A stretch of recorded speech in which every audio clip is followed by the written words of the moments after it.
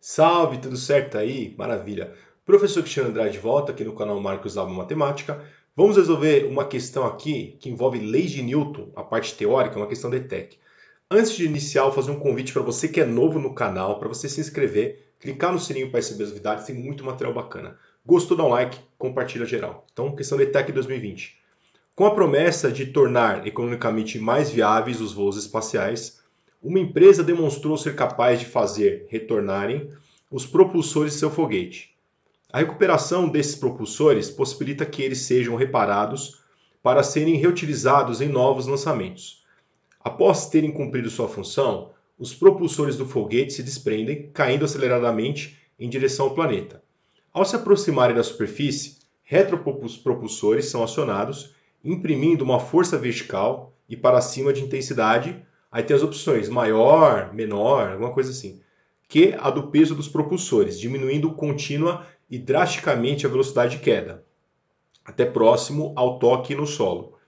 Nesse momento, os retropropulsores imprimem uma força vertical e para cima de intensidade, aí tem lá menor, igual ou maior que a do peso dos propulsores, o que os mantém pairando sem velocidade, enquanto os computadores avaliam a telemetria para, finalmente, diminuir até zero a retropropulsão.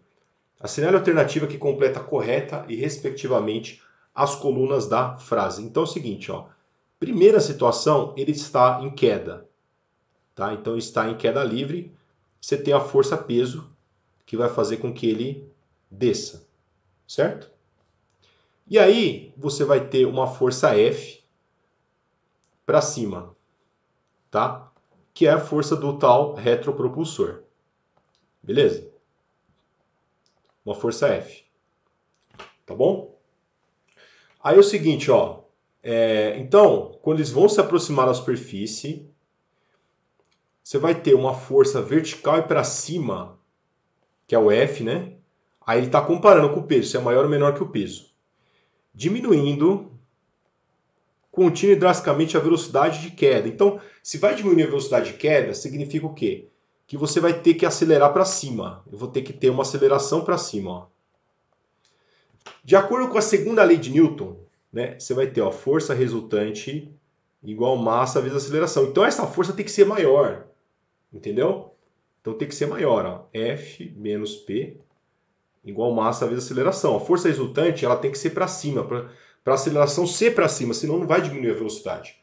Então, ela tem que ser maior, ó. Maior que a do peso. Entendeu?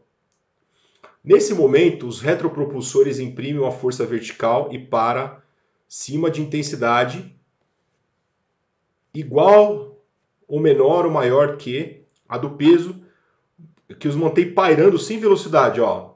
Se eles estão sem velocidade, significa que a aceleração é igual a zero. Tá? Então, essa é a segunda situação aqui. Ó. Aceleração é igual a zero. Então, vamos supor que eu tenho aqui ainda o peso né, para baixo e essa força F para cima. Tá? Para a aceleração ser zero, eles vão ter que ser iguais. Ó. Tá? Para força resultante ser zero, a aceleração tem que ser é, para aceleração ser zero, a força resultante tem que ser zero. Então, força resultante igual a zero, o F igual a P. Então tem que ser igual, ó. Maior e o outro igual. Maior igual, letra B, ó. Então letra B é o gabarito. Beleza? Então a gente tem que pegar, avaliar, né, imaginar ali para onde estão os vetores, no caso o peso sempre é para baixo, e a força do propulsor para cima. No primeiro caso, você vai acelerar para cima para diminuir a velocidade. Então você tem que ter uma força maior para cima. Né? Senão ele acelerar para baixo, entendeu? Se tiver uma força, o peso maior, ele vai continuar acelerando para baixo. Vai diminuir a aceleração, ok. Vai, vai dar uma suavizada na queda, mas vai continuar caindo, a velocidade vai aumentar. Não pode, ele tem que diminuir para não arrebentar. Beleza? Então é isso aí, mais uma questão resolvida. Espero que tenha sido, sido útil para você. Gostou, dá um like, compartilha geral. Se for novo no canal, inscreva-se.